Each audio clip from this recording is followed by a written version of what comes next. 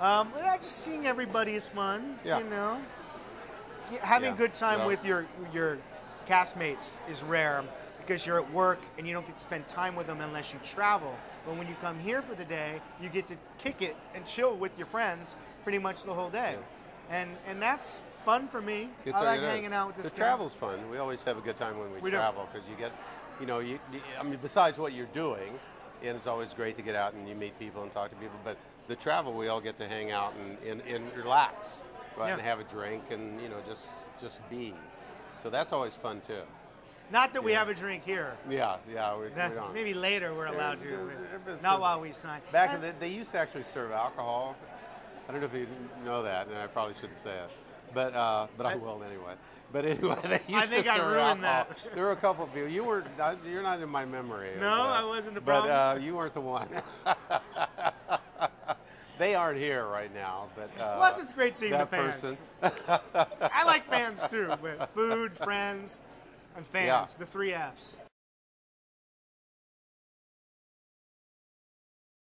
Well, you talk to people from everywhere. I mean, I talk to people. We, you know, we know Australia, New Zealand. They, they come in and, and uh, uh, that's. yeah, I love that. But yeah, I meet people from France and Poland and Germany and uh, all over the world. It's astounding.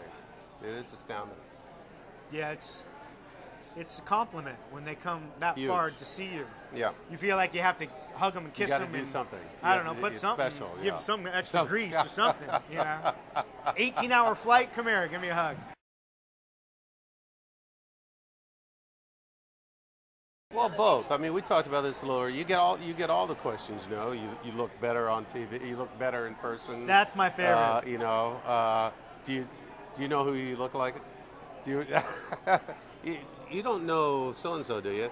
You look like that guy on TV. Yeah. Uh, do you know Do you know that you've been on Days of Our Lives? Or, you know, Yeah. all those all those questions that are that are always interesting. But it, it's I always look at it like it's it's that we've been granted this wonderful place to give somebody a moment that they remember and that becomes special to them. And you know, that's that's that's a pretty extraordinary responsibility, and uh, and and it's fun.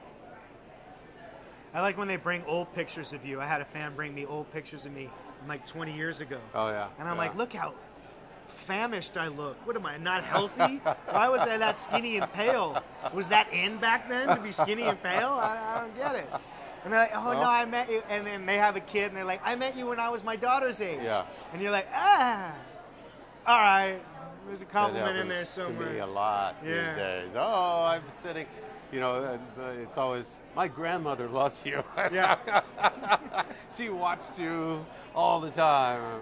It's uh, which is great. Which is wonderful, and they're right. Yeah. I may have gone to high school with their grandmother. Who knows?